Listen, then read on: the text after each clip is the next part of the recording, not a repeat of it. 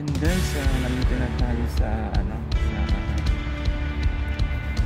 embassy ng ah, Philippines sa dito sa Muscat.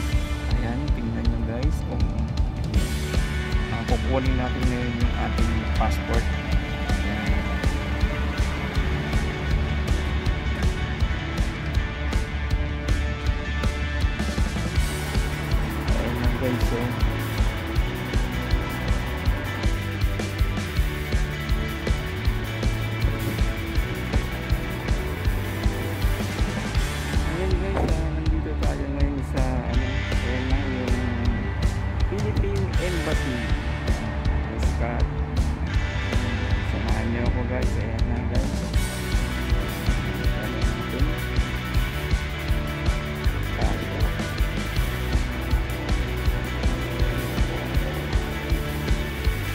Guys, ito yung OWA nila pero walang nakalagay. Pero ito yung building ng OWA nila. Magtanong-tanong lang kayo guys. Ito yung embassy.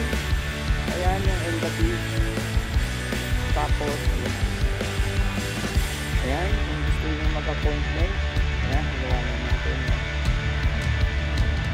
So, ah, open sila ng 8 a.m. to 3 p.m. Pero ngayon na Ramadan, 9 to 1 p.m. lang sila. ah.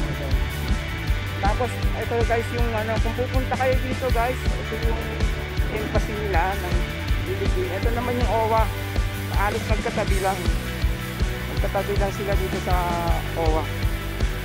Ayan, nandito yung gate. Ayan guys, yung ano nila oh. Yung dito nila sa ano.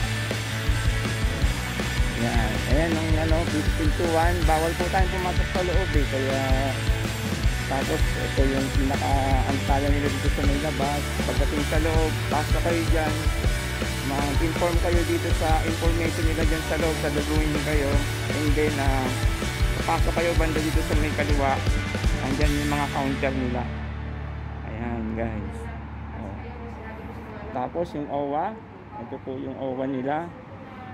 Ayan. Ayan yung OWA nila guys ha. Ayan,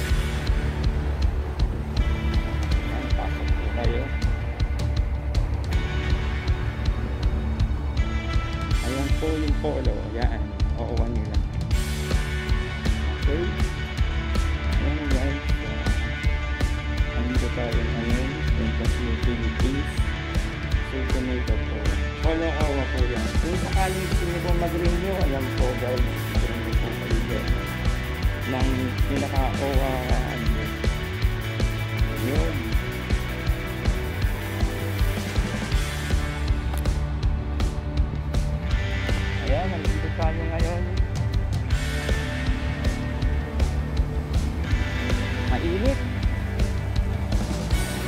Mainit, guys.